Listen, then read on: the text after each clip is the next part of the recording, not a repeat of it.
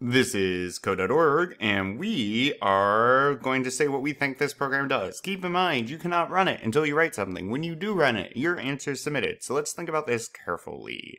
All right.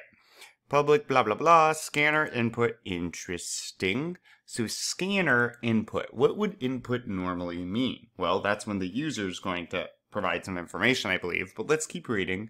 System out print, enter the first number. Okay int first. So, I mean, just reading this, it seems like someone's going to be allowed to enter a number.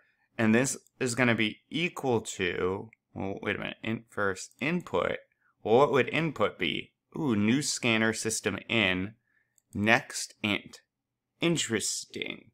So, going off of what I know, and there's not right answers to these guys, you're asked, what do you think? Guess what you think? You think the right answer. Whatever you're thinking is right. But just to kind of brainstorm some, input is going to be something you are providing to the computer. That could be a mouse click, a button click, it could be a keyboard, it could be a joystick. It's audio. This audio that I'm recording right now, it is going into this electric machine called the computer. That is input. All of this is input, right? And so enter the first number, input. I'm going to assume then just by kind of context clues that they're going to allow for keyboard entry. Now, if next int, we know that an integer value in programming in Java is a whole number. So I'm going to go ahead and assume just context clues. Hey, maybe scanner, they're scanning for user input. And then we ask for a number.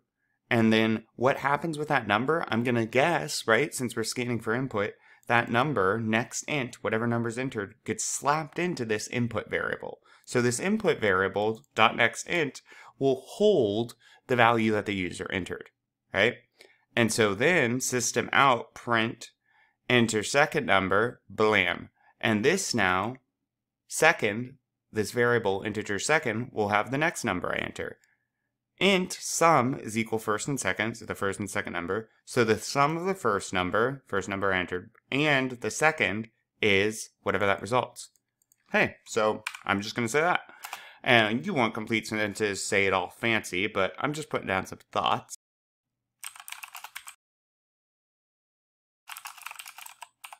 Boom. All right.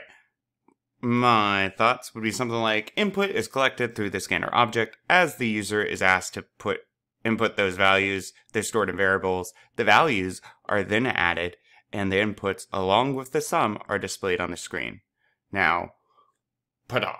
Of course, complete sentences and plagiarism is bad. Whatever you think, who knows? Maybe I'm wrong. Make sure to put down your thoughts and let's hit run. 13. And I don't know. 8.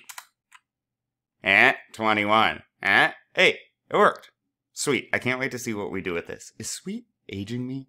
Cool. Fire? Something hip. Anyways, onward.